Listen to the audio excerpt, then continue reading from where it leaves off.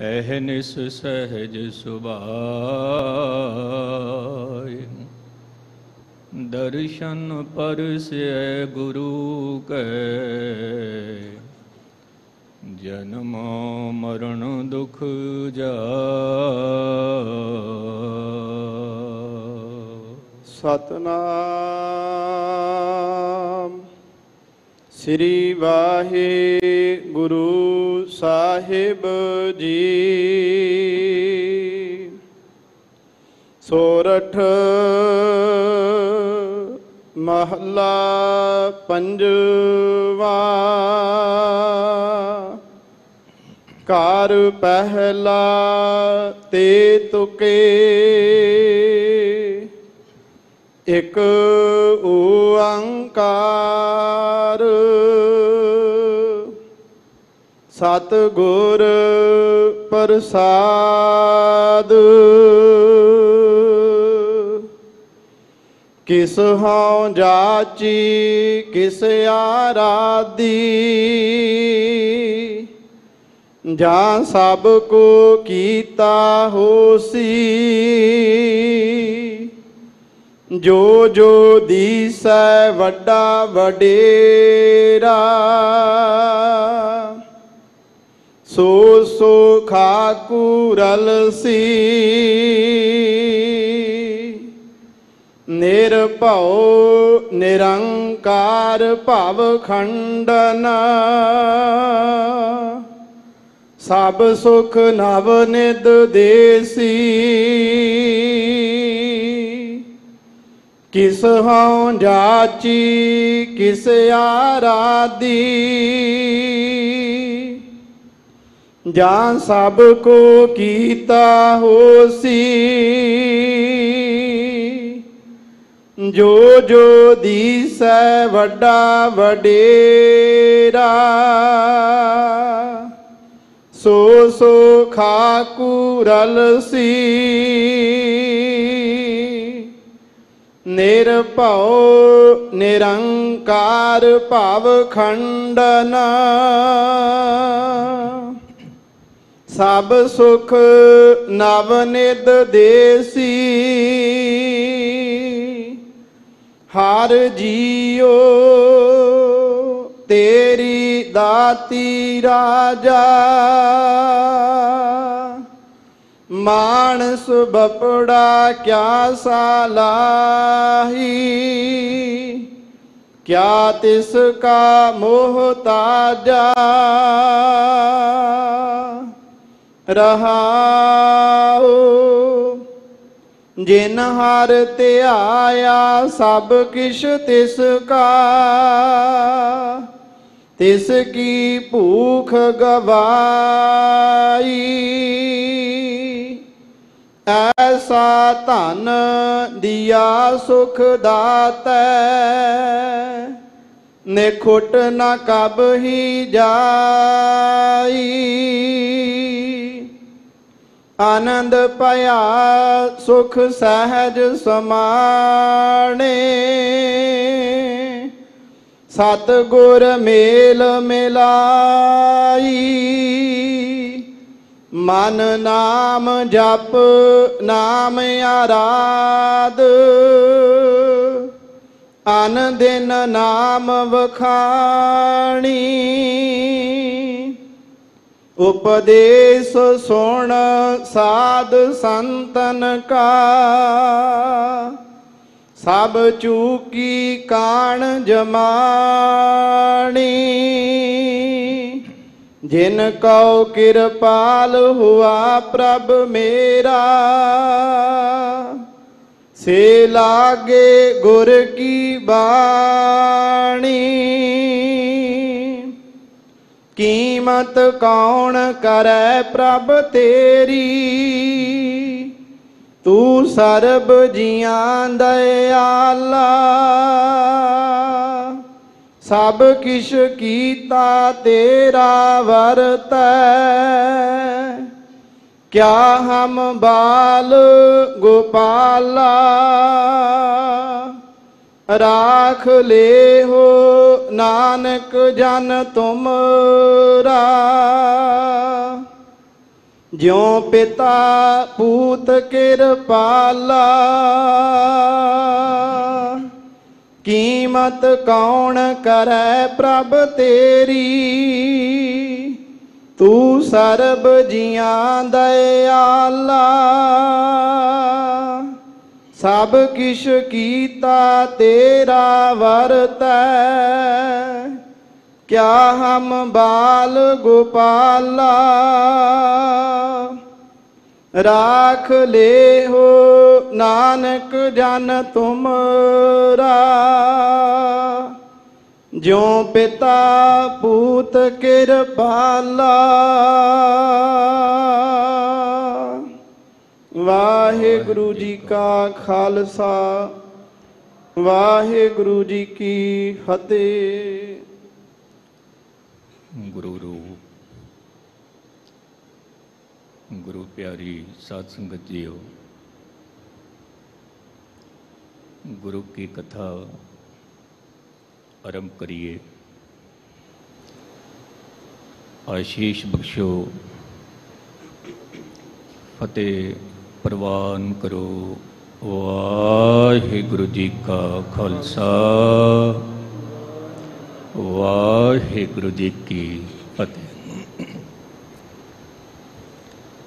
ਮੂਲ ਸ਼ਬਦ ਦੀ ਵਿਆਖਿਆ। ਆਪ ਜੀ ਦੇ ਸਾਹਮਣੇ ਰੱਖਾਂ। ਉਸ ਤੋਂ ਪਹਿਲਾਂ ਇੱਕ ਖਿਆਲ, ਇੱਕ ਵਿਚਾਰ। ਮਨੁੱਖ ਦੇ ਕੋਲ ਜਿਹੜੀ ਭੁੱਖ ਹੈ ਔਰ ਜਿਹੜੀ ਪਿਆਸ ਹੈ, ਇਹ ਜਮੰਦਰੀ ਹੈ। ਬੱਚੇ ਦਾ ਜਨਮ ਹੋਇਆ, ਪਿਆਸ ਲੱਗੀ ਹੈ। ਬੱਚੇ ਦਾ ਜਨਮ ਹੋਇਆ, ਭੁੱਖ ਲੱਗੀ ਹੈ। ਮਾਂ ਕਹਿ ਦਿੰਦੀ ਹੈ ਬੱਚੇ ਨੂੰ ਭੁੱਖ ਲੱਗੀ ਹੈ ਇਹ ਬਾਲਕ ਜਿਵੇਂ ਜਿਵੇਂ ਸਿਆਣਾ ਹੋਇਆ, ਵੱਡਾ ਹੋਇਆ, ਤੇ ਜਿਹੜੀ ਭੁੱਖ ਸੀ, ਇਹ ਮੰਗ ਤੇ ਖੜੀ ਹੋ ਗਈ। ਹੁਣ ਇਸ ਨੇ ਮੰਗਣਾ ਸ਼ੁਰੂ ਕੀਤਾ। ਤੇ ਸਭ ਤੋਂ ਪਹਿਲਾਂ ਮੰਗਣਾ ਸ਼ੁਰੂ ਕੀਤਾ ਆਪਣੇ ਭਰਾ ਤੋਂ। ਆਪਣੀ ਭੈਣ ਤੋਂ ਕਿ ਤੇਰੇ ਕੋਲ ਜੋ ਕੁਝ ਵੀ ਹੈ ਥੋੜਾ ਜਿਹਾ ਹਿੱਸਾ ਮੈਨੂੰ ਵੀ ਦੇ ਦੇ ਵਿੱਚ, ਮੈਂ ਵੀ ਖਾਣਾ ਹੈ। ਕਦੇ ਮਾਂ ਤੋਂ ਮੰਗਦਾ ਹੈ, ਕਦੇ ਪਿਤਾ ਤੋਂ ਮੰਗਦਾ ਹੈ। ਕਦੇ ਭੈਣ ਤੋਂ ਮੰਗਦਾ ਹੈ, ਕਦੇ ਭਰਾ ਤੋਂ ਮੰਗਦਾ ਹੈ। ਫਿਰ ਕਦੇ ਮਿੱਤਰਾਂ ਤੋਂ ਮੰਗਦਾ ਹੈ, ਕਦੇ ਪੜੋਸੀ ਤੋਂ ਮੰਗਦਾ ਹੈ। ਮੰਗਦੀਆਂ ਮੰਗਦੀਆਂ ਇੱਕ ਪੜਾਅ ਐਸਾ ਆ ਕਿ ਜਦੋਂ ਉਹਦੀ ਮੰਗ ਪੂਰੀ ਨਹੀਂ ਹੋਈ ਤੇ ਫਿਰ ਉਸਨੇ ਚੋਰੀ ਕਰਨਾ ਆਰੰਭ ਕਰ ਦਿੱਤਾ ਹੈ। ਕਿਉਂਕਿ ਮੰਗਣ ਨਾਲ ਗੱਲ ਨਹੀਂ ਬਣੀ ਤੇ ਫਿਰ ਚੋਰੀ ਹੀ ਠੀਕ ਹੈ। ਫਿਰ ਚੋਰੀ ਕਰਦਾ ਹੈ। ਚੋਰੀ ਕਰਦੀਆਂ ਕਰਦੀਆਂ ਜਦੋਂ ਉਹਦੀ ਲੋੜ ਪੂਰੀ ਨਹੀਂ ਹੋਈ ਤੇ ਫਿਰ ਉਹਦਾ ਤਲ ਕਿਧਰੇ ਹੋਰ ਵੱਡਾ ਹੋ ਜਾਂਦਾ ਹੈ। ਤੇ ਫਿਰ ਚੋਰੀ ਦੀ ਥਾਂ ਉਹ ਲੁੱਟ ਮਾਰ ਕਰਦਾ ਹੈ, ਡਕੇਤੀ ਡਲਦਾ ਹੈ ਔਰ ਇਸ ਤਰ੍ਹਾਂ ਉਹ ਖੋ ਕੇ ਲਿਆਂਦਾ ਹੈ। ਔਰ ਉਸੇ ਤਰ੍ਹਾਂ ਉਹਦਾ ਸਾਰਾ ਜੀਵਨ ਤਬਾਹ ਹੋ ਜਾਂਦਾ ਹੈ ਤੇ ਆਪਣੀ ਮੰਜ਼ਿਲ ਹੀ ਭੁੱਲ ਜਾਂਦਾ ਹੈ, ਮੈਂ ਕਿਉਂ ਆਇਆ? ਰੂਹੇ ਜ਼ਮੀਨ ਤੇ। ਕਿਉਂਕਿ ਅਕਸਰ ਇੱਕ ਗੱਲ ਕਰਦੇ ਸੀ, ਸੰਤ ਸਿੰਘ ਦੀ ਮਸ਼ਕੀਨ, ਕਿ ਧਾਰਮਿਕ ਕੌਣ ਹੈ? ਜਿਹੜਾ ਰੋਜ਼ ਪਾਠ ਕਰਦਾ ਹੈ, ਉਹ ਧਾਰਮਿਕ ਹੈ ਗੁਸਤਾਖੀ ਮਾਫ? ਨਹੀਂ। ਨਹੀਂ। ਧਾਰਮਿਕ ਮਨੁੱਖ ਉਹ ਹੈ, ਜਿਸ ਨੂੰ ਆਪਣੇ ਮੰਜ਼ਿਲ ਦੀ ਖਬਰ ਹੈ। ਤੇ ਮੈਂ ਰੂਹੇ ਜ਼ਮੀਨ ਤੇ ਕਿਉਂ ਆਇਆ ਹਾਂ? ਇਹਦਾ ਮਕਸਦ ਕੀ ਹੈ? ਇਹਦਾ ਕਾਰਨ ਕੀ ਹੈ? ਜਿਸ ਨੂੰ ਮੰਜ਼ਿਲ ਦੀ ਸਮਝ ਹੈ, ਉਹ ਮਨੁੱਖ ਧਾਰਮਿਕ ਹੈ। ਉਹ ਮਨੁੱਖ ਇੱਕ ਦਿਨ ਮੰਜ਼ਿਲੇ ਮਕਸੂਦ ਤੇ ਪਹੁੰਚ ਜਾਂਦਾ ਹੈ। ਲੇਕਿਨ ਮੰਗਦੀਆਂ ਮੰਗਦੀਆਂ ਫਿਰ ਚੋਰੀ ਤੇ ਪਹੁੰਚ ਜਾਂਦਾ ਹੈ। ਚੋਰੀ ਕਰਦੀਆਂ ਕਰਦੀਆਂ ਲੁੱਟ ਮਾਰ ਤੇ ਪਹੁੰਚ ਜਾਂਦਾ ਹੈ ਔਰ ਜੀਵਨ ਤਬਾਹ ਹੋ ਜਾਂਦਾ ਹੈ। ਤਬਾਹ ਹੋ ਜਾਂਦਾ ਹੈ। ਇਸ ਦੋਹੇ ਜ਼ਮੀਨ ਤੇ ਜਿਤਨੇ ਵੀ ਰਹਿਬਰ ਆਏ, ਉਹਨਾਂ ਦਾ ਇੱਕੋ ਹੀ ਮੂਲ ਕਾਰਨ ਸੀ। ਇੱਕੋ ਹੀ। ਔਰ ਮੂਲ ਕਾਰਨ ਇਹ ਸੀ ਕਿ ਭਟਕਦੇ ਹੋਏ ਮਨੁੱਖ ਨੂੰ ਕਿਉਂ ਨਾ ਦਿਸ਼ਾ ਵਿਖਾਈ ਜਾਏ, ਆਪਣੇ ਮੰਜ਼ਿਲ ਤੇ ਪਹੁੰਚ ਜਾਏ, ਤੇ ਆਵਾਗਮਨ ਉਹਦਾ ਖਤਮ ਹੋ ਜਾਵੇ। ਮੂਲ ਸ਼ਬਦ ਦਾ ਪਾਠ ਆਪ ਜੀ ਨੇ ਗੁਰਮੁਖ ਪਿਆਰੇ ਰਣਜੀਤ ਸਿੰਘ ਜੀ ਦੀ ਮੁਬਾਰਕ ਰਸਨਾ ਚੋਂ ਸ਼ਰਵਨ ਕੀਤਾ। ਬਹੁਤ ਅਜੀਜ਼ ਪਿਆਰੇ ਮਿੱਠ ਬੋਲੜੇ ਤੇ ਨਿਮਰਤਾ ਦਾ ਸੁਭਾਅ। ਗੁਰੂ ਰਹਿਮਤ ਕਰੇ 608 ਅੰਗ ਤੇ ਜੋ ਧੰਨ ਗੁਰੂ ਅਰਜਨ ਦੇਵ ਸਾਹਿਬ ਦੇ ਬੋਲ ਨੇ, ਹੁਣ ਉਹ ਲੜੀਵਾਰ ਮੈਂ ਆਪ ਜੀ ਦੇ ਸਾਹਮਣੇ ਰੱਖਾਂ। ਸਤਨਾਮ ਸ੍ਰੀ ਵਾਹਿਗੁਰੂ ਸਾਹਿਬ ਜੀ। ਸੋਰਠ ਮਹੱਲਾ ਪੰਜਵਾ, ਘਰ ਪਹਿਲਾ ਤੇ ਤੁਕੇ, ਇਕ ਓੰਕਾਰ। ਸਤ ਗੁਰ ਪ੍ਰਸਾਦ। ਇਹ ਇਲਾਹੀ ਕਲਾਮ। ਧੰਨ ਗੁਰੂ ਅਰਜਨ ਦੇਵ ਸਾਹਿਬ ਦਾ ਸੋਰਠ ਰਾਗ ਹੈ। ਤੇ ਘਰ ਪਹਿਲਾ। ਕਿਉਂਕਿ ਧੰਨ ਗੁਰੂ ਗ੍ਰੰਥ ਸਾਹਿਬ ਦੇ ਵਿੱਚ 17 ਘਰ ਤੱਕ ਦਾ ਜ਼ਿਕਰ ਕੀਤਾ ਹੈ।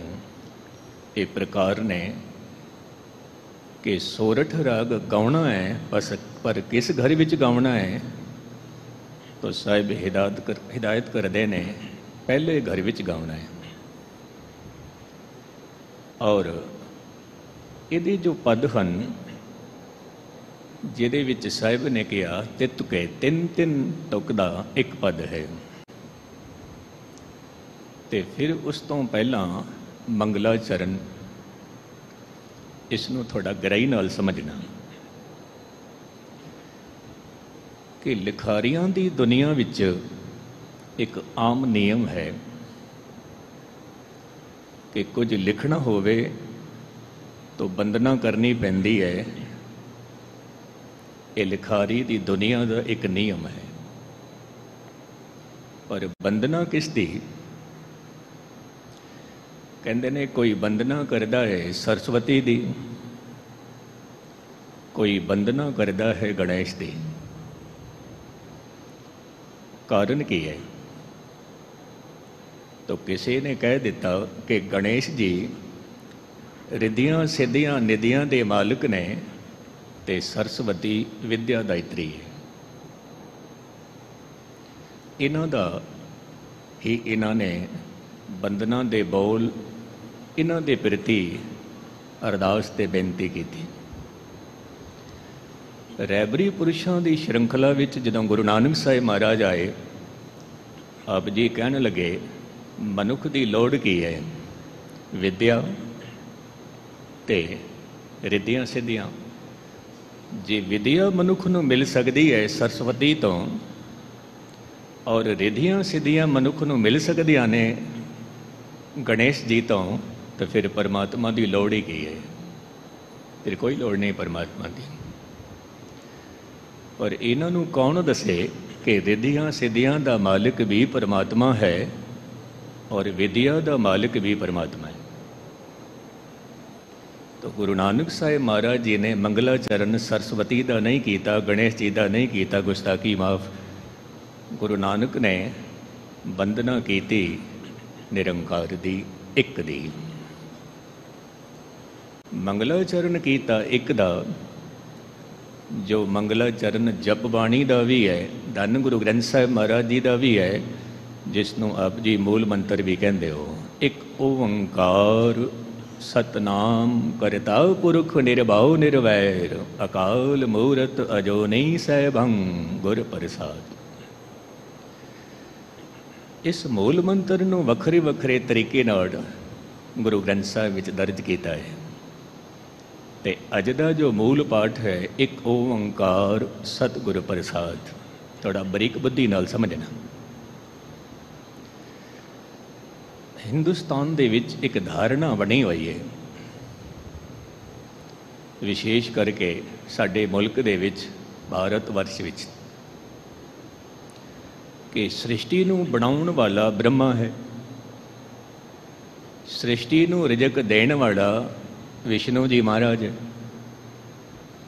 ਔਰ ਸ੍ਰਿਸ਼ਟੀ ਨੂੰ ਤਬਾਹ ਕਰਨ ਵਾਲਾ ਸ਼ਿਵ ਜੀ ਮਹਾਰਾਜ ਸ਼ੰਕਰ ਜੀ ਨੇ। ਇਹ ਸਾਡੇ ਮੁਲਕ ਦੇ ਵਿੱਚ ਧਾਰਨਾ ਬਣੀ ਹੋਈ ਹੈ।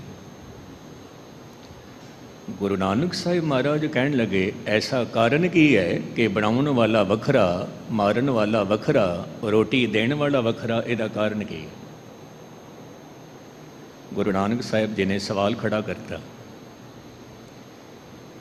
ਤੇ ਫਿਰ ਵਿਦਵਾਨ ਪੁਰਸ਼ਾਂ ਨੇ ਜਵਾਬ ਦਿੱਤਾ ਕਿ ਜੋ ਮਾਂ ਬੱਚੇ ਨੂੰ ਜਨਮ ਦੇ ਸਕਦੀ ਹੈ ਉਹ ਮਾਰ ਨਹੀਂ ਸਕਦੀ। ਉਹਦੇ ਵਿੱਚ ਮਮਤਾ ਹੈ ਮਮਤਾ ਹੈ। ਫਿਰ ਮਾਂ ਜਨਮ ਦਿੰਦੀ ਹੈ। ਮਾਂ ਮਾਰ ਨਹੀਂ ਸਕਦੀ। ਫਿਰ ਮਾਰਨ ਵਾਲਾ ਕੋਈ ਹੋਰ ਚਾਹੀਦਾ ਹੈ। ਦੂਜਾ, ਤੀਜਾ, ਚੌਥਾ, ਪੰਜਵਾਂ। ਤੇ ਜਿਸ ਨੇ ਸ੍ਰਿਸ਼ਟੀ ਬਣਾਈ ਹੈ, ਉਹ ਫਿਰ ਸ੍ਰਿਸ਼ਟੀ ਨੂੰ ਮਾਰਦਾ ਨਹੀਂ ਹੈ। ਮਾਰਨ ਵਾਲਾ ਦੇਵਤਾ ਦੂਜਾ ਹੈ। ਰਿਜਕ ਦੇਣ ਵਾਲਾ ਦੇਵਤਾ ਦੂਜਾ ਹੈ। ਗੁਰੂ ਨਾਨਕ ਸਾਹਿਬ ਮਹਾਰਾਜ ਨੇ ਕਿਹਾ, ਨਹੀਂ, ਐਸਾ ਨਹੀਂ। ਇੱਕ ਹੀ ਜਨਮਦਾਤਾ ਹੈ, ਇੱਕ ਹੀ ਪ੍ਰਲੇ ਦਾਤਾ ਹੈ ਔਰ ਇੱਕ ਹੀ ਮਿਟਾਉਣ ਵਾਲਾ ਹੈ। ਇੱਕ ਤੋਂ ਹੀ ਸਭ ਕੁਝ ਬਣ ਰਿਹਾ ਹੈ, ਇੱਕ ਤੋਂ ਹੀ ਸਭ ਕੁਝ ਮਿਟ ਰਿਹਾ ਹੈ ਔਰ ਇੱਕ ਹੀ ਹਰ ਇੱਕ ਨੂੰ ਰੋਜੀ ਦੇ ਰਿਹਾ ਹੈ, ਹਰ ਇੱਕ ਨੂੰ। ਤੋ ਇੱਕ ਵਿਦਵਾਨ ਪੁਰਸ਼ ਦੇ ਬੋਲ ਹਨ ਆਕਾਰ, ਉਕਾਰ, ਮਕਾਰ। ਇਹ ਜੋ ਓੰਕਾਰ ਹੈ, ਇਹਦੇ ਵਿੱਚ ਤਿੰਨ ਅੱਖਰ ਨੇ। ਮੈਂ ਫਿਰ ਅਰਜ਼ ਕਰਾਂ, ਧਿਆਨ ਦੇ ਨਾਲ ਸੁਣਨਾ, ਕਿਉਂਕਿ ਕਥਾ ਧਿਆਨ ਮੰਗਦੀ ਹੈ। ਜੇ ਧਿਆਨ ਨਹੀਂ ਹੈ, ਸੁਣ ਕੇ ਵੀ ਨਹੀਂ ਸੁਣ ਪਾਏ।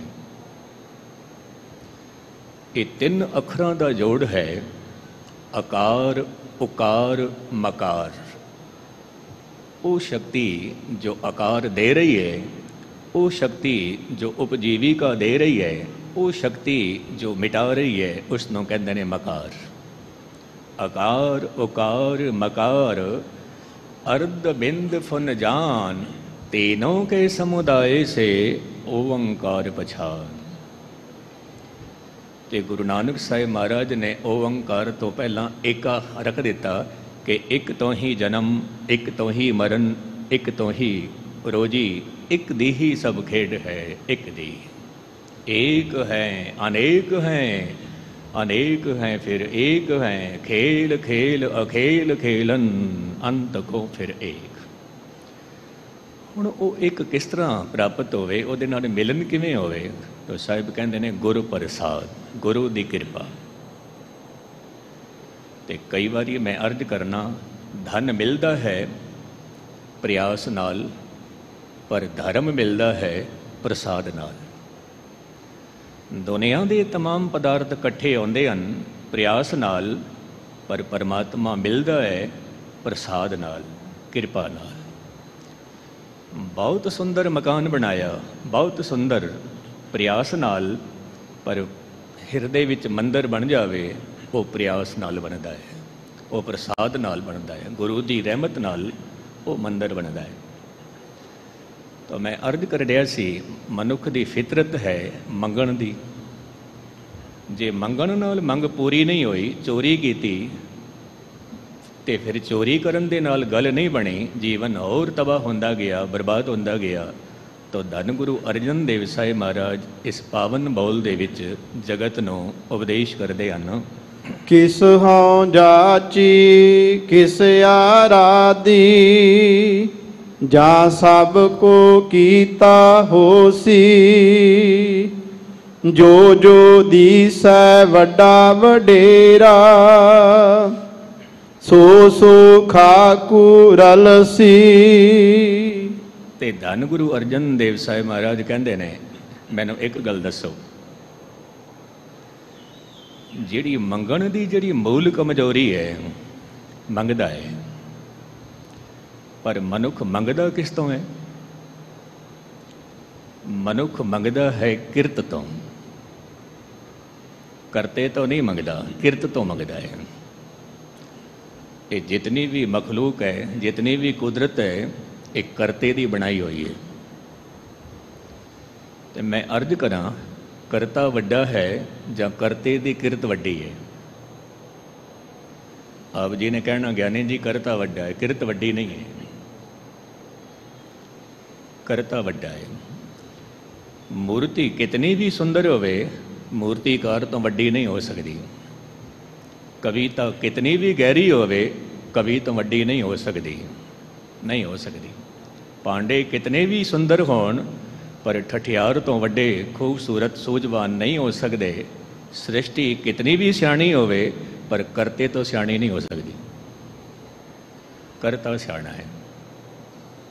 ਤੋ ਸਾਹਿਬ ਕਹਿੰਦੇ ਨੇ, ਕਿਸ ਹਉ ਜਾਚੀ ਕਿਸ ਆਰਾਧੀ, ਜਾਂ ਸਭ ਕੁਛ ਕੀਤਾ ਹੋਸੀ ਮੈਂ ਕਿਸ ਦੇ ਅੱਗੇ ਜਾਚਨਾ ਕਰਾਂ? ਮੈਂ ਕਿਸ ਦੇ ਅੱਗੇ ਆਰਾਧਨਾ ਕਰਾਂ, ਜਦੋਂ ਸਭ ਕੁਝ ਰੱਬ ਨੇ ਬਣਾਇਆ ਹੈ? ਰੱਬ ਨੇ ਬਣਾਇਆ। ਕਿਉਂਕਿ ਆਪ ਜੀ ਕਿਸੇ ਮਨੁੱਖ ਤੋਂ ਮੰਗਦੇ ਹੋ, ਆਪਣੇ ਦੁੱਖੜੇ ਮਨੁੱਖ ਦੇ ਸਾਹਮਣੇ ਖੋਲਦੇ ਹੋ, ਮਨੁੱਖ ਆਪਣੇ ਦੁੱਖ ਆਪ ਜੀ ਦੇ ਸਾਹਮਣੇ ਖੋਲ ਦਿੰਦਾ ਹੈ। ਕਹਿੰਦੇ ਨੇ, ਤੂੰ ਉਸ ਤੋਂ ਮੰਗ ਜੋ ਕਿਸੇ ਤੋਂ ਵੀ ਨਹੀਂ ਮੰਗਦਾ। ਤੂੰ ਆਪਣਾ ਦੁੱਖੜਾ ਉਸ ਨੂੰ ਸੁਣਾ, ਜਿਹਦੇ ਜੀਵਨ ਵਿੱਚ ਕੋਈ ਦੁੱਖੜਾ ਨਹੀਂ ਹੈ। ਬਾਕੀ ਤਾਂ ਜਿਤਨੇ ਵੀ ਨੇ, ਜੋ ਜੋ ਦੀਸੇ ਵਡਾ ਵਡੇਰਾ, ਸੋ ਸੋ ਖਾਕੂ ਰਲ ਸੀ ਜਿਤਨੇ ਵੀ ਵੱਡੇ ਵੱਡੇ ਨੇ, ਅਖੀਰ ਦੇ ਵਿੱਚ, ਮਿੱਟੀ ਦੇ ਵਿੱਚ ਮਿਲ ਜਾਂਦੇ ਨੇ, ਖੇ ਹੋ ਜਾਂਦੇ ਨੇ। ਮੈਨੂੰ ਇੱਕ ਗੱਲ ਯਾਦ ਹੈ, ਪੱਛਮ ਦਾ ਵਿਚਾਰਕ ਹੋਇਆ ਉਹ ਜਦੋਂ ਸ਼ਮਸ਼ਾਨ ਘਾਟ ਤੋਂ ਲੰਘ ਰਿਹਾ ਸੀ ਤੇ ਉਹਨੂੰ ਠੋਕਰ ਲੱਗਦੀ ਹੈ, ਜਦੋਂ ਉਹ ਦੇਖਦਾ ਹੈ ਕਿ ਸਾਹਮਣੇ ਤਾਂ ਕਿਸੇ ਮਨੁੱਖ ਦੀ ਖੋਪੜੀ ਪਈ ਹੋਈ ਹੈ। ਖੋਪੜੀ। ਔਰ ਸ਼ਮਸ਼ਾਨ ਘਾਟ ਤੇ ਲਿਖਿਆ ਸੀ, ਇਹ ਕੋਈ ਛੋਟੇ-ਮੋਟੇ ਲੋਕਾਂ ਦਾ ਸ਼ਮਸ਼ਾਨ ਘਾਟ ਨਹੀਂ, ਇੱਥੇ ਵੱਡੇ-ਵੱਡੇ ਬੰਦੇ ਦਫਨਾਏ ਜਾਂਦੇ ਨੇ ਵੱਡੇ-ਵੱਡੇ ਤੇ ਉਹ ਫਕੀਰ ਕਹਿੰਦਾ ਹੈ, ਜੇ ਵੱਡੇ-ਵੱਡੇ ਬੰਦੇ ਦਫਨਾਏ ਜਾਂਦੇ ਨੇ, ਤੇ ਜ਼ਰੂਰ ਇਹ ਖੋਪੜੀ ਕਿਸੇ ਵੱਡੇ ਬੰਦੇ ਦੀ ਰਹੀ ਹੋਵੇਗੀ। ਜ਼ਰੂਰ। ਔਰ ਅੱਜ ਉਹੀ ਖੋਪੜੀ ਠੋਕਰਾਂ ਖਾ ਰਹੀ ਹੈ, ਜਿਹੜੀ ਖੋਪੜੀ ਕਦੇ ਲੋਕਾਂ ਨੂੰ ਕਹਿੰਦੀ ਸੀ, ਤੁਸੀਂ ਮੈਨੂੰ ਮੱਥਾ ਟੇਕੋ, ਤੁਸੀਂ ਮੇਰੇ ਪੈਰਾਂ ਤੇ ਸਜਦਾ ਕਰੋ। ਅੱਜ ਉਹ ਖੋਪੜੀ ਠੋਕਰਾਂ ਖਾ ਰਹੀ ਹੈ ਤਾਂ ਕਹਿੰਦੇ ਨੇ, ਉਸ ਫਕੀਰ ਨੇ ਖੋਪੜੀ ਆਪਣੇ ਕੋਲ ਹੀ ਰੱਖ ਲਈ। ਇਸ ਕਰਕੇ ਕਿ ਆਪਣੇ ਮਨ ਨੂੰ ਹਰ ਵੇਲੇ ਸੁਚੇਤ ਕਰਦੇ ਰਹੀਏ ਕਿ ਐ ਪੁਰਖਾ ਜੋ ਜੋ ਦੀਸੈ, ਵਡਾ ਵਡੇਰਾ, ਸੋ ਸੋ ਖਾਕੋ ਰਲ ਸੀ ਨਿਰਭਉ ਨਿਰੰਕਾਰ ਭਵ ਖੰਡਨ। ਸਭ ਸੁਖ ਨਵ ਨਿਦ ਦੇਸੀ। ਸਾਹਿਬ ਕਹਿੰਦੇ ਨੇ, ਉਹ ਜੋ ਪ੍ਰਭੂ ਹੈ, ਨਿਰਭਉ ਹੈ, ਨਿਰਵੈਰ ਵੀ ਹੈ। ਆਲਮਾਂ ਦਾ ਕਹਿਣਾ ਹੈ ਕਿ ਮਨੁੱਖ ਦੇ ਜੀਵਨ ਵਿੱਚ ਜੇ ਡਰ ਹੈ, ਤਾਂ ਆਪਣੇ ਤੋਂ ਵੱਡੇ ਦਾ। ਔਰ ਜੇ ਕਿਧਰੇ ਵੈਰ ਹੈ ਕਿਸੇ ਦੇ ਨਾਲ, ਤੇ ਗੁਸਤਾਖੀ ਮਾਫ ਸ਼ਰੀਕਾਂ ਦਾ। ਆਪਣੇ ਤੋਂ ਛੋਟੇ ਦਾ ਡਰ ਨਹੀਂ ਹੁੰਦਾ। ਪਰ ਡਰ ਹੁੰਦਾ ਹੈ ਆਪਣੇ ਤੋਂ ਵੱਡੇ ਦਾ। ਵੈਰ ਸ਼ਰੀਕਾਂ ਦਾ। ਗੁਰੂ ਪਾਤਸ਼ਾਹ ਕਹਿੰਦੇ ਨੇ ਐ ਪੁਰਖਾ ਨਿਰਭਉ ਨੂੰ ਜਪਦੀਆਂ ਜਪਦੀਆਂ ਤੂੰ ਵੀ ਨਿਰਭਉ ਹੋ ਜਾ। ਨਿਰਵੈਰ ਨੂੰ ਜਪਦੀਆਂ ਜਪਦੀਆਂ ਤੂੰ ਵੀ ਨਿਰਵੈਰ ਹੋ ਜਾ। ਤਾਂ ਕਰਕੇ ਉਹ ਪਰਮਾਤਮਾ ਜਿਹਦੇ ਘਰ ਦੇ ਵਿੱਚ ਸਾਰੇ ਸੁੱਖ ਨੇ, ਨਿਧੀਆਂ, ਸਿਧੀਆਂ, ਉਹ ਤੇਰੀ ਝੋਲੀ ਦੇ ਵਿੱਚ ਪੈਣਗੀਆਂ। ਤਾਂ ਉਹਦੀ ਇਬਾਦਤ ਕਰ ਫਿਰ ਰਾਹੋ ਦੀ ਪੰਕਤੀ ਵਿੱਚ ਗੁਰੂ ਪਾਤਸ਼ਾਹ ਜੀ ਬਖਸ਼ਿਸ਼ਾਂ ਕਰਦੇ ਹਨ ਜੀ। ਹਰ ਜੀਓ ਤੇਰੀ ਦਾਤੀ ਰਾਜਾ ਮਾਨਸ ਬਪੜਾ ਕਿਆ ਸਾਲਾਹੀ ਕਿਆ ਤਿਸ ਕਾ ਮੋਹਤਾਜਾ ਗੁਰੂ ਸਾਹਿਬ ਮਹਾਰਾਜ ਦੇ ਬੋਲ ਨੇ ਕਿ ਇੱਕ ਮਨੁੱਖ ਮਨੁੱਖ ਨੂੰ ਕਿਤਨਾ ਕੁਝ ਦੇ ਸਕਦਾ ਹੈ। ਇੱਕ ਦਿਨ ਕੁਝ ਦਵੇਗਾ, ਦੂਜੇ ਦਿਨ ਦਵੇਗਾ ਤੇ ਗੁਸਤਾਖੀ ਮਾਫ, ਤੀਜੇ ਦਿਨ ਤਾਂ ਉਸਨੇ ਕਹਿ ਹੀ ਦੇਣਾ ਹੈ ਕਿ ਮੈਂ ਸਾਰੀ ਜ਼ਿੰਦਗੀ ਦਾ ਠੇਕਾ ਨਹੀਂ ਲਿਆ ਹੈ।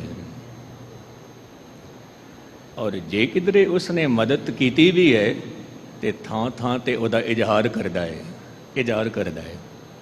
ਤੇਰੀ ਬੇਟੀ ਦਾ ਕਾਰਜ ਸੀ, ਮਦਦ ਮੈਂ ਨਾ ਕਰਦਾ ਤੇ ਤੇਰਾ ਉਹ ਸਮਾਂ ਔਖਾ ਹੋ ਜਾਣਾ ਸੀ। ਤੇਰੇ ਪੁੱਤਰ ਦਾ ਵਿਆਹ ਸੀ, ਜੇ ਕਿਧਰੇ ਮੈਂ ਮਦਦਗਾਰ ਨਾ ਹੁੰਦਾ, ਤੇਰੇ ਪੁੱਤਰ ਦਾ ਵਿਆਹ ਕਿਵੇਂ ਆਉਂਦਾ? ਤੇਰੇ ਜੀਵਨ ਵਿੱਚ ਬਹੁਤ ਵੱਡੇ ਦੁੱਖ ਆਏ, ਬਹੁਤ ਵੱਡੇ। ਮਦਦਗਾਰ ਮੈਂ ਨਾ ਹੁੰਦਾ, ਤਾਂ ਤੇਰਾ ਕਾਰਜ ਕਿਵੇਂ ਆਉਣਾ ਸੀ, ਮਨੁੱਖ ਥਾਂ ਥਾਂ ਤੇ ਕਹਿੰਦਾ ਹੈ ਹਰ ਥਾਂ ਤੇ ਕਹਿੰਦਾ ਹੈ ਹਰ ਵਕਤ ਕਹਿੰਦਾ ਹੈ ਪਰ ਇੱਕ ਪ੍ਰਭੂ ਦੀ ਸ਼ਰਨ ਵਿੱਚ ਆਪ ਜੀ ਬੈਠੇ ਹੋ, ਕਹਿੰਦੇ ਨੇ, ਸਾਰੀ ਜ਼ਿੰਦਗੀ ਦਿੰਦਾ ਹੀ ਰਹਿੰਦਾ ਹੈ ਸਾਰੀ ਜ਼ਿੰਦਗੀ ਦੇਂਦਾ ਦੇ ਲੈਂਦੇ ਥਕ ਪਾਏ, ਜੁਗਾ ਜੁਗੰਤਰ ਖਾਈ ਖਾਏ, ਸਾਰੀ ਜ਼ਿੰਦਗੀ ਦਿੰਦਾ ਹੀ ਰਹਿੰਦਾ ਹੈ ਪਰ ਸਾਹਿਬ ਕਹਿੰਦੇ ਨੇ, ਵੱਡਾ ਦਾਤਾ ਤਿਲ ਨਾ ਤਮਾਏ। ਇੰਨਾ ਵੱਡਾ ਦਾਤਾ ਸਭ ਕੁਝ ਦੇ ਕੇ ਤੇ ਤਿਲ ਜਿਤਨੀ ਤਮਾ ਨਹੀਂ ਰੱਖਦਾ, ਤਿਲ ਜਿਤਨੀ ਮੰਗ ਨਹੀਂ ਰੱਖਦਾ ਕਿ ਮੈਂ ਤੈਨੂੰ ਕੁਝ ਦਿੱਤਾ ਹੈ ਤੇ ਤੂੰ ਵੀ ਮੈਨੂੰ ਦੇ। ਨਹੀਂ। ਹੁਣ ਐਸੇ ਪ੍ਰਭੂ ਨੂੰ ਛੱਡ ਕੇ ਹੁਣ ਇੱਕ ਮਾਨਸ ਦੇ ਸਾਹਮਣੇ ਕੀ ਅਰਜ਼ੋਈ ਕਰੀਏ? ਮੌਤਾ ਜੀ ਕੀ ਕੱਢੀ ਉਹਦੀ ਮਾਨਸ ਦੀ? ਮੈਂ ਇਸ ਮਾਨਸ ਸ਼ਬਦ ਦਾ ਅਰਥ ਦੇਖ ਰਿਹਾ ਸੀ। ਤੇ ਇਹਦੀ ਜੇ ਕਿਧਰੇ ਸੰਧੀ ਵਿਛੇਦ ਕਰੀਏ, ਤਾਂ ਕਹਿੰਦੇ ਨੇ, ਮਾਂ ਜੋ ਅਹੰਕਾਰ ਦੇ ਨਾਲ ਭਰਿਆ ਹੋਇਆ ਹੈ ਮਾਨਸ। ਅਹੰਕਾਰ ਨਾਲ ਭਰਿਆ ਹੋਇਆ। ਤੇ ਬੁਲੇਸ਼ਾਹ ਦਾ ਇੱਕ ਕਲਾਮ ਮੈਨੂੰ ਚੇਤੇ ਆ ਗਿਆ।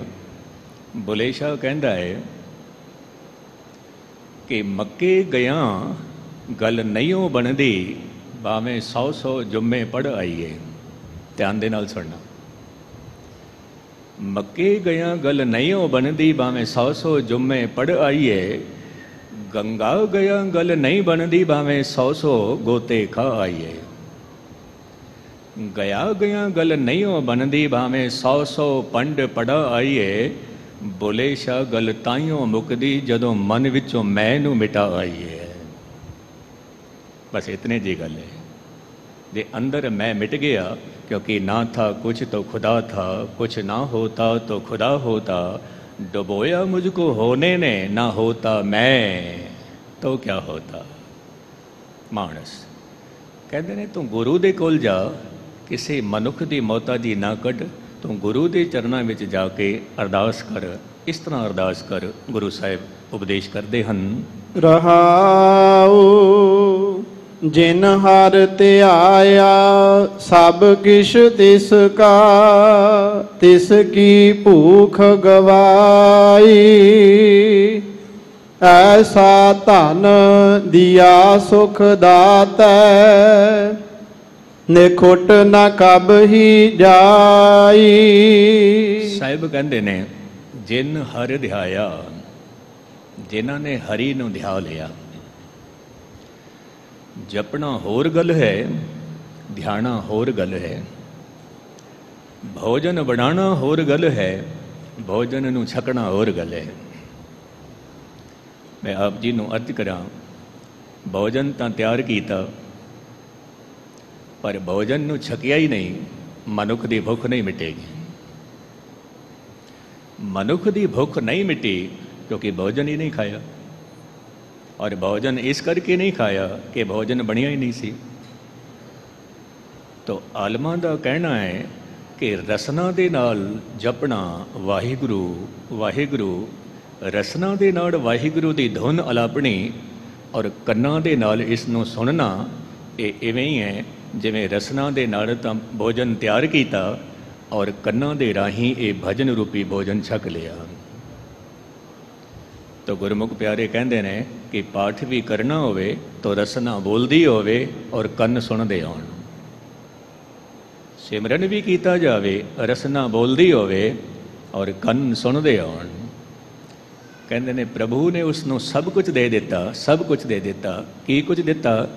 ਕਹਿੰਦੇ ਨੇ, ਐਸਾ ਧਨ ਉਸ ਨੂੰ ਦੇ ਦਿੱਤਾ ਕਿ ਕਦੇ ਉਹ ਖੁੱਟਦਾ ਹੀ ਨਹੀਂ ਹੈ, ਖੁੱਟਦਾ ਹੀ ਨਹੀਂ ਹੈ। ਸਾਰੀ ਭੁੱਖ ਵੀ ਮਿਟ ਗਈ ਔਰ ਜੀਵਨ ਦੇ ਵਿੱਚ ਉਹ ਧਨ ਕਦੇ ਖਤਮ ਵੀ ਨਹੀਂ ਹੁੰਦਾ। ਕਿਉਂਕਿ ਜੇ ਗੌਰ ਮਤਾਲਾ ਕਰੀਏ, ਤੇ ਸਾਡੇ ਕੋਲ ਜਿਹੜਾ ਧਨ ਹੈ, ਉਹ ਵੰਡਿਆ ਜਾ ਸਕਦਾ ਹੈ, ਉਹ ਖੋਇਆ ਜਾ ਸਕਦਾ ਹੈ, ਲੁੱਟਿਆ ਜਾ ਸਕਦਾ ਹੈ, ਪਾਣੀ ਵਿੱਚ ਡੁੱਬ ਸਕਦਾ ਹੈ ਪਰ ਇੱਕੋ ਇੱਕ ਧਨ ਐਸਾ ਹੈ ਜੋ ਨਾ ਕਦੇ ਡੁੱਬਦਾ ਹੈ ਨਾ ਕਦੇ ਉਸ ਨੂੰ ਚੋਰ ਚੁਰਾ ਸਕਦਾ ਹੈ। ਪਰ ਉਹ ਧਨ ਕਿਹਦੇ ਕੋਲ ਹੈ ਉਹ ਨਾਮ ਕਿਹਦੇ ਕੋਲ ਹੈ ਉਹਦੇ ਬਾਰੇ ਸਾਹਿਬ ਜੀ ਪਾਵਨ ਬੋਲ ਦੇ ਵਿੱਚ ਉਪਦੇਸ਼ ਕਰਦੇ ਹਨ ਜੀ। ਆਨੰਦ ਭਇਆ ਸੁਖ ਸਹਿਜ ਸੁਮਾਣੇ ਸਤਿਗੁਰ ਮੇਲ ਮਿਲਾਈ। ਸਾਹਿਬ ਕਹਿੰਦੇ ਨੇ ਕਿ ਜੇ ਅਨੰਦਿਨ ਨਾਮ ਜਪਦਾ ਰਵੇਂ ਤਾਂ ਤੇਰੇ ਜੀਵਨ ਦੇ ਵਿੱਚ ਆਨੰਦ ਭਇਆ ਸੁਖ ਸਹਿਜ ਸਮਾਏ। ਆਨੰਦ ਭਇਆ ਕਈ ਦਫਾ ਅਸੀਂ ਸੁਖ ਨੂੰ ਆਨੰਦ ਸਮਝ ਲੈਂਦੇ ਹਾਂ। ਪਰ ਗੁਸਤਾਖੀ ਮਾਫ ਸੁਖ ਵੱਖਰੇ ਹਨ, ਆਨੰਦ ਵੱਖਰਾ ਹੈ। ਜੀਵਨ ਦੇ ਵਿੱਚ ਸੁੱਖ ਆਉਂਦੇ ਨੇ ਸਮਾਂ ਪਾ ਕੇ ਚਲੇ ਜਾਂਦੇ ਨੇ। ਜੀਵਨ ਦੇ ਵਿੱਚ ਦੁੱਖ ਵੀ ਆਉਂਦੇ ਨੇ, ਦੁੱਖ ਵੀ ਚਲੇ ਜਾਂਦੇ ਨੇ। ਮੈਨੂੰ ਇੱਕ ਛੋਟਾ ਜਿਹਾ ਉਦਾਹਰਣ ਚੇਤੇ ਆ ਗਿਆ ਮੌਕੇ ਤੇ। ਬਾਦਸ਼ਾਹ ਕਹਿੰਦਾ ਹੈ ਇੱਕ ਸੰਤ ਨੂੰ ਮੈਨੂੰ ਇੱਕ ਐਸੀ ਪੰਕਤੀ ਲਿਖ ਕੇ ਦਿਵੋ, ਜਿਹਦੇ ਨਾਲ ਉਹ ਪੰਕਤੀ ਦੁੱਖ ਵਿੱਚ ਵੀ ਕੰਮ ਆਵੇ ਤੇ ਸੁੱਖ ਵਿੱਚ ਵੀ ਕੰਮ ਆਵੇ। ਤੇ ਸੰਤ ਪੁਰਸ਼ ਕਹਿੰਦਾ ਹੈ, ਚੰਗਾ, ਇਹ ਮੈਂ ਪੰਕਤੀ ਤੈਨੂੰ ਲਿਖ ਕੇ ਦੇਣਾ। ਪਰ ਇਹ ਪੰਕਤੀ ਉਦੋਂ ਖੋਲਣਾ ਉਦੋਂ ਪੜਨਾ ਜਦੋਂ ਜੀਵਨ ਦੇ ਵਿੱਚ ਅਤ ਦਾ ਦੁੱਖ ਆ ਜਾਏ। ਅਤ ਦਾ ਦੁੱਖ। ਔਰ ਜਾਂ ਫਿਰ ਜੀਵਨ ਦੇ ਵਿੱਚ ਅਪਾਰ ਸੁੱਖ ਆ ਜਾਣ, ਜਾਂ ਫਿਰ ਇਹ ਪੰਕਤੀ ਉਦੋਂ ਪੜਨਾ ਜਦੋਂ ਜੀਵਨ ਵਿੱਚ ਬਹੁਤ ਸੁੱਖ ਆ ਜਾਣ। ਤੇ ਮਾਲਕ ਦੀ ਕੀ ਖੇਡ ਹੋਈ? ਇੱਕ ਵਾਰ ਐਸਾ ਦੁੱਖ ਆਇਆ, ਐਸਾ ਦੁੱਖ ਆਇਆ ਤੇ ਇਹ ਰਾਜਾ ਵਿਚਲਿਤ ਹੋ ਜਾਂਦਾ ਹੈ। ਕਹਿੰਦਾ, ਹੁਣ ਮੈਂ ਕੀ ਕਰਾਂ? ਹੁਣ ਫਕੀਰ ਨੇ, ਸੰਤ ਨੇ ਜਿਹੜੀ ਉਹ ਪਰਚੀ ਦਿੱਤੀ ਸੀ ਲਿਖ ਕੇ, ਜਰਾ ਮੈਂ ਇਹ ਖੋਲ ਕੇ ਦੇਖਾਂ। ਜਦੋਂ ਉਹ ਪਰਚੀ ਖੋਲ ਕੇ ਦੇਖਦਾ ਹੈ, ਉੱਥੇ ਲਿਖਿਆ ਹੈ, ਇਹ ਵੀ ਬੀਤ ਜਾਏਗਾ। ਧਿਆਨ ਦੇ ਨਾਲ ਸੁਣਨਾ। ਇਹ ਤੇਰੇ ਜੀਵਨ ਦੇ ਵਿੱਚ ਜਿਹੜਾ ਦੁੱਖ ਆਇਆ ਹੈ, ਇਹ ਦੁੱਖ ਅੱਜ ਨਹੀਂ ਤਾਂ ਕੱਲ ਖਤਮ ਹੋ ਜਾਏਗਾ। ਤੂੰ ਪਰਵਾਹ ਨਾ ਕਰੀ, ਤੂੰ ਗੁਰੂ ਤੋਂ ਬੇਮੁਖ ਨਾ ਹੋਈ। ਵਾਕਈ ਕੁਝ ਦਿਨ ਬਾਅਦ ਉਹ ਦੁੱਖ ਵੀ ਖਤਮ ਹੋ ਜਾਂਦਾ ਹੈ, ਫਿਰ ਸੁੱਖਾਂ ਦਾ ਪ੍ਰਵਾਹ ਆਉਂਦਾ ਹੈ ਜੀਵਨ ਵਿੱਚ। ਫਿਰ ਅਤ ਦੇ ਸੁੱਖ ਆਉਂਦੇ ਨੇ। ਤੇ ਫਿਰ ਫਕੀਰ ਦੀ ਗੱਲ ਯਾਦ ਆ ਗਈ, ਪਰਚੀ ਖੋਲ ਕੇ ਦੇਖ ਲੈਣਾ। ਜੇ ਅਤ ਦੇ ਸੁੱਖ ਹੋਣ, ਤਾਂ ਵੀ ਪਰਚੀ ਖੋਲ ਕੇ ਦੇਖਣਾ। ਹੁਣ ਉਹ ਪਰਚੀ ਖੋਲ ਕੇ ਦੇਖਦਾ ਹੈ, ਇਹ ਵੀ ਬੀਤ ਜਾਣਗੇ। ਜਦੋਂ ਦੁੱਖ ਨਿਕਲ ਗਏ ਨੇ, ਇਹ ਸੁੱਖ ਵੀ ਖਤਮ ਹੋ ਜਾਣਗੇ। ਤੇ ਇਹ ਗੱਲ ਚੇਤੇ ਰੱਖਣਾ ਕਿ ਦੁੱਖ ਦੇ ਵਿੱਚ ਵਿਚਲਿਤ ਨਾ ਹੋ ਜਾਣਾ ਤੇ ਸੁੱਖਾਂ ਦੇ ਵਿੱਚ ਅਹੰਕਾਰੀ ਨਾ ਬਣ ਜਾਣਾ, ਗੁਰੂ ਦਾ ਪੱਲਾ ਨਾ ਛੱਡ ਦੇਣਾ। ਤਾਂ ਸਾਹਿਬ ਕਹਿੰਦੇ ਨੇ ਕਿ ਆਨੰਦ ਭਇਆ, ਸੁਖ ਸਹਿਜ ਸਮਾਏ। ਕਹਿੰਦੇ ਨੇ, ਸਤਿਗੁਰ ਮੇਲ ਮਿਲਾਈ। ਸਤਿਗੁਰੂ ਨੇ ਹੀ ਮਿਲਨ ਕਰਾਇਆ। ਸਤਿਗੁਰੂ ਨੇ ਹੀ ਉਪਦੇਸ਼ ਕੀਤਾ, ਜਿਹਦੇ ਨਾਲ ਜੀਵਨ ਵਿੱਚ ਐਸਾ ਆਨੰਦ ਆਇਆ ਕਿ ਸदैव ਖਿੜਾਉ ਦੀ ਅਵਸਥਾ ਵਿੱਚ ਰਹਿੰਦਾ ਹੈ। 24 ਘੰਟੇ ਖਿੜਾਉ ਦੀ ਅਵਸਥਾ ਹੈ ਜੀ। ਮਨ ਨਾਮ ਜਪ, ਨਾਮ ਆਰਾਧ, ਆਨੰਦਿਨ ਨਾਮ ਵਖਾਣੀ। ਉਪਦੇਸ਼ ਸੁਣ ਸਾਧ ਸੰਤਨ ਕਾ। ਸਭ ਚੂਕੀ ਕਾਣ ਜਮਾਣੀ। ਧਾਰਮਿਕ ਦੁਨੀਆ ਦੇ ਵਿੱਚ ਇੱਕ ਸਵਾਲ ਬਹੁਤ ਪ੍ਰਚਲਿਤ ਹੈ।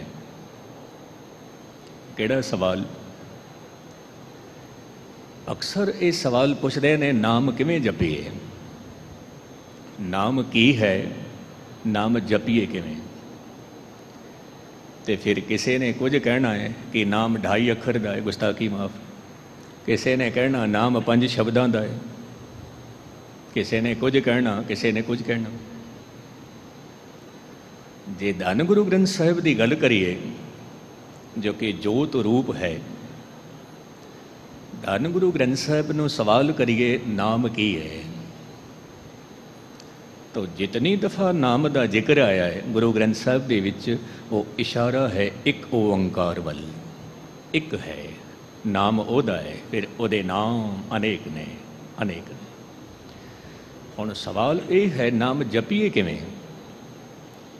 ਤਾਂ ਕਈ ਵਾਰੀ ਮੈਂ ਅਰਜ਼ ਕਰਨਾ ਕਿ ਮਨੁੱਖ ਨੂੰ ਜਦੋਂ ਭੁੱਖ ਲੱਗੀ ਹੋਵੇ ਰੋਮ ਰੋਮ ਦੇ ਵਿੱਚੋਂ ਆਵਾਜ਼ ਨਿਕਲਦੀ ਹੈ, ਰੋਟੀ ਚਾਹੀਦੀ ਹੈ, ਭੋਜਨ ਚਾਹੀਦਾ ਹੈ ਮਨੁੱਖ ਨੂੰ ਪਿਆਸ ਲੱਗੀ ਹੋਵੇ, ਰੋਮ ਰੋਮ ਦੇ ਵਿੱਚੋਂ ਆਵਾਜ਼ ਨਿਕਲਦੀ ਹੈ ਪਾਣੀ ਚਾਹੀਦਾ ਹੈ ਪਾਣੀ ਚਾਹੀਦਾ ਹੈ ਫਿਰ ਭੁੱਖੇ ਦੇ ਸਾਹਮਣੇ ਰੋਟੀ ਰੱਖ ਦਈਏ ਤੇ ਗੁਸਤਾਖੀ ਮਾਫ ਕਿਧਰੇ ਪੁੱਛੇਗਾ ਨਹੀਂ ਕਿਸੇ ਨੂੰ ਕਿ ਮੈਂ ਹੁਣ ਕਿਸ ਤਰ੍ਹਾਂ ਖਾਵਾਂ ਰੋਟੀ। ਕਦੇ ਨਹੀਂ ਪੁੱਛਦਾ, ਭੁੱਖ ਲੱਗੀ ਹੈ ਪਾਣੀ ਦੀ ਪਿਆਸ ਲੱਗੀ ਹੋਵੇ, ਪਾਣੀ ਸਾਹਮਣੇ ਪਿਆ ਹੋਵੇ, ਕਦੇ ਕਿਸੇ ਨੂੰ ਪੁੱਛੇਗਾ ਨਹੀਂ, ਮੈਨੂੰ ਦੱਸੋ ਮੈਂ ਪਾਣੀ ਕਿਵੇਂ ਪੀਵਾਂ। ਪਿਆਸ ਲੱਗੀ ਹੈ ਪਾਣੀ ਪੀਂਦਾ ਹੈ ਭੁੱਖ ਲੱਗੀ ਹੈ ਰੋਟੀ ਖਾਂਦਾ ਹੈ ਪਰ ਅਫਸੋਸ ਦੀ ਗੱਲ ਹੈ ਹੈਰਾਨਗੀ ਦੀ ਗੱਲ ਹੈ ਕਿ ਮਨੁੱਖ ਪੁੱਛਦਾ ਹੈ ਕਿ ਮੈਂ ਨਾਮ ਕਿਵੇਂ ਜਪਾਂ ਹੱਦ ਹੋ ਗਈ ਤਾਂ ਅਕਸਰ ਜਦੋਂ ਬਾਲਕ ਆਪਣੀ ਮਾਂ ਨੂੰ ਕਹਿ ਦਿੰਦਾ ਹੈ ਤੇਰਾ ਬਣਾਇਆ ਭੋਜਨ ਸਵਾਦਲਾ ਨਹੀਂ ਹੈ ਤੇ ਮਾਂ ਕਹਿੰਦੀ ਹੈ ਪੁੱਤਰ ਲੱਗਦਾ ਤੂੰ ਬਾਹਰੋਂ ਖਾ ਕੇ ਆਇਆ ਜਾਂ ਤੈਨੂੰ ਭੁੱਖ ਨਹੀਂ ਹੈ ਅੱਜ ਰੋਜ਼ ਮਾਂ ਦੇ ਹੱਥ ਦਾ ਬਣਾਇਆ ਭੋਜਨ ਖਾਂਦਾ ਹੈ। ਅੱਜ ਕਹਿੰਦਾ ਹੈ, ਸਵਾਦ ਨਹੀਂ ਹੈ। ਅੱਜ ਕਹਿੰਦਾ ਹੈ, ਭੁੱਖ ਨਹੀਂ ਹੈ ਤੇ ਤੂੰ ਖਾ ਕੇ ਆਇਆ ਹੈ। ਤੇ ਇਸੇ ਤਰ੍ਹਾਂ ਜਦੋਂ ਨਾਮ ਦੀ ਭੁੱਖ ਹੋਵੇ, ਤਾਂ ਯਕੀਨਨ ਮੰਨਣਾ ਅੰਦਰੋਂ ਰੋਮ ਰੋਮ ਚੋਂ ਨਿਕਲਦਾ ਹੈ, ਵਾਹਿਗੁਰੂ ਵਾਹਿਗੁਰੂ ਵਾਹਿਗੁਰੂ ਵਾਹਿਗੁਰੂ, ਕਿਉਂਕਿ ਭੁੱਖ ਲੱਗੀ ਹੋਈ ਹੈ। ਤਾਂ ਸਾਹਿਬ ਕਹਿੰਦੇ ਨੇ ਪੁਰਖਾ ਮਨ ਨਾਮ ਜਪ, ਨਾਮ ਆਰਾਧ, ਅੰਦਨ ਨਾਮ ਵਖਾਣੀ, ਉਪਦੇਸ਼ ਸੁਣ। ਸੰਤਾਂ ਦਾ, ਗੁਰਮੁਖਾਂ ਦਾ ਕਹਿੰਦੇ ਨੇ ਸਭ ਚੂਕੀ, ਜਮਾਂ ਦੀ ਜਿਹੜੀ ਮਾਰ ਹੁੰਦੀ ਹੈ ਵਾਰ-ਵਾਰ ਜੰਮਣਾ, ਵਾਰ-ਵਾਰ ਮਰਨਾ ਜਮ ਜਮ ਮਰੇ ਮਰੇ ਫਿਰ ਜੰਮੈ, ਬਹੁਤ ਸਜਾਏ ਪਿਆ ਦੇਸ਼ ਲੰਮੇ, ਜਨਮ ਲੈਣਾ, ਮਰਨਾ, ਫਿਰ ਜਨਮ ਲੈਣਾ, ਫਿਰ ਮਰਨਾ ਕਹਿੰਦੇ ਨੇ ਇਹ ਵਾਰ-ਵਾਰ ਦਾ ਤੇਰਾ ਜਿਹੜਾ ਆਵਾਗਮਨ ਹੈ ਇਹ ਸਮਾਪਤ ਹੋਵੇਗਾ ਜਦੋਂ ਤੂੰ ਨਾਮ ਜਪ ਲਵੇਗਾ। ਇਸ ਤਰ੍ਹਾਂ ਗੁਰੂ ਸਾਹਿਬ ਜੀ ਬਖਸ਼ੀਸ਼ਾਂ ਕਰਦੇ ਜੀ ਜਿਨ ਕੋ ਕਿਰਪਾਲ ਹੁਆ ਪ੍ਰਭ ਮੇਰਾ ਸੇ ਲਾਗੇ ਗੁਰ ਕੀ ਬਾਣੀ।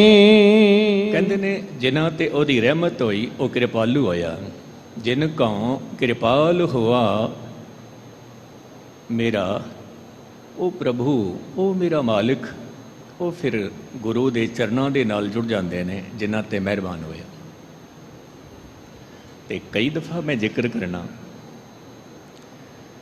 ਜੋ ਯਾਦ ਸ਼ਬਦ ਹੈ, ਇਸ ਨੂੰ ਥੋੜਾ ਜਿਹਾ ਆਪਣੇ ਜ਼ਿਹਨ ਵਿੱਚ ਲੈ ਲੈਣਾ, ਇਸ ਅੱਖਰ ਨੂੰ, ਇਹ ਦੋ ਅੱਖਰ ਨੇ, ਜਿਨ੍ਹਾਂ ਦਾ ਇੱਕ ਸ਼ਬਦ ਬਣਿਆ ਹੈ, ਯਾਦ।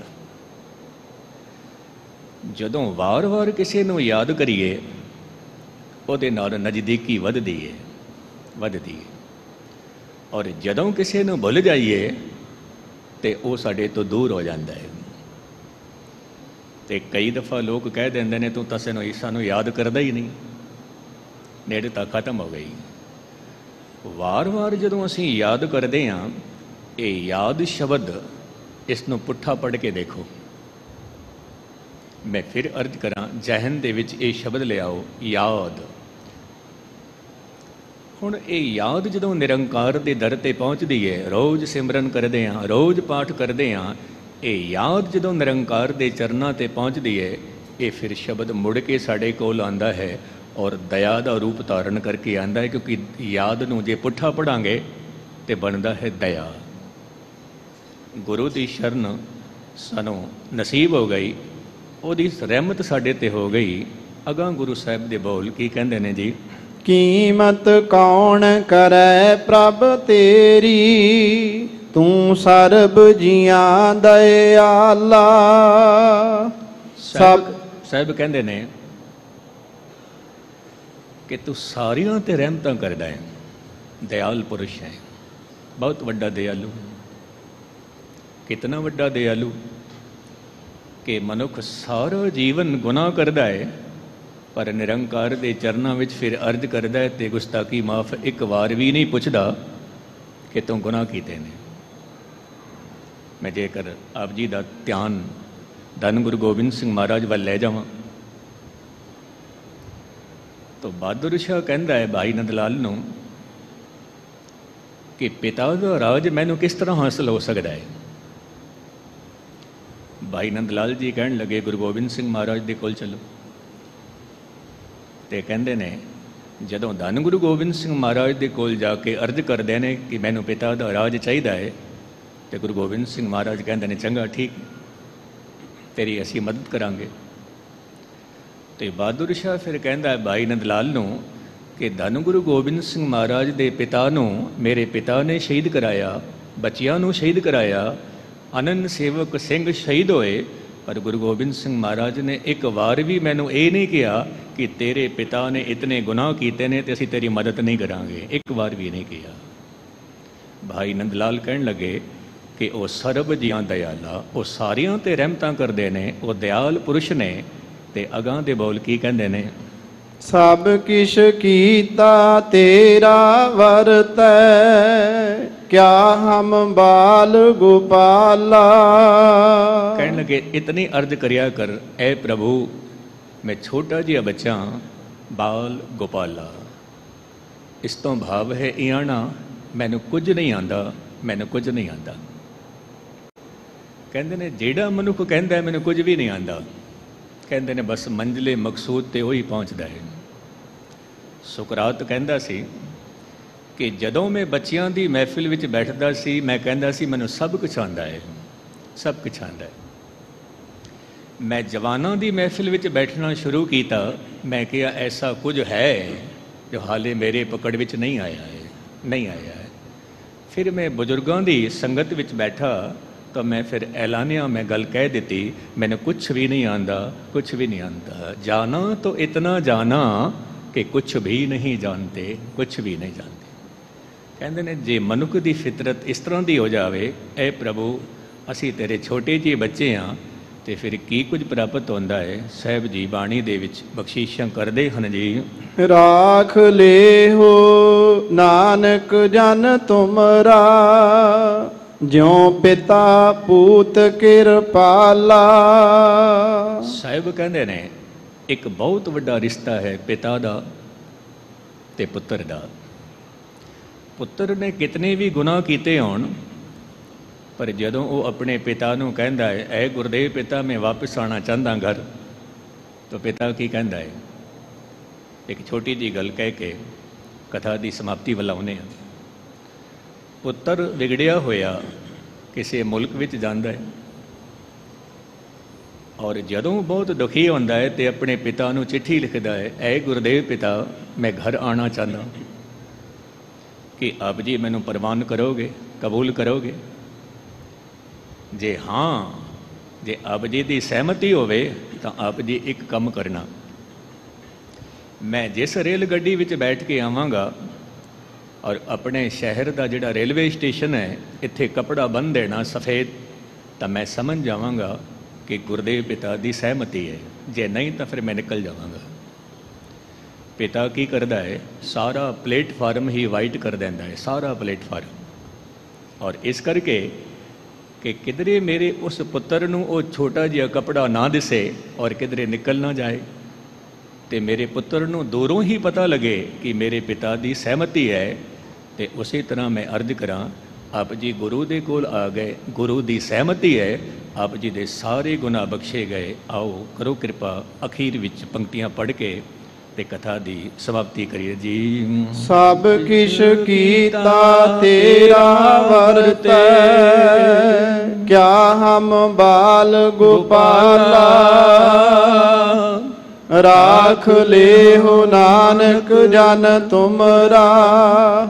ਜਿਉ ਪਿਤਾ ਪੂਤ ਕਿਰਪਾਲਾ। ਸਾਰਿਆਂ ਦਾ ਬਹੁਤ ਬਹੁਤ ਧੰਨਵਾਦ। ਸਿੰਘ ਸਾਹਿਬ ਗਿਆਨੀ ਜਗਤਾਰ ਸਿੰਘ ਜੀ ਦਾ ਵੀ ਧੰਨਵਾਦ। ਭੁੱਲਾਂ ਚੁੱਕਾਂ ਦੀ ਖਿਮਾ। ਵਾਹਿਗੁਰੂ ਜੀ ਕਾ ਖਾਲਸਾ। ਵਾਹਿਗੁਰੂ ਜੀ ਕੀ